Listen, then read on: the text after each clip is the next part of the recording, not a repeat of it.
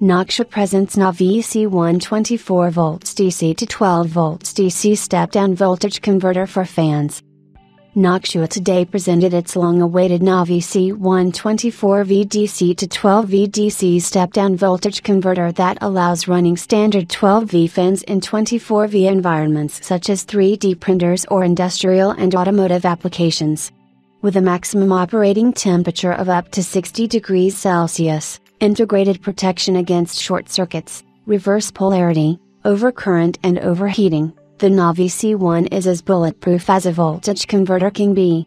At the same time, its neat, ultra compact and lightweight design makes it easy to integrate into virtually any environment.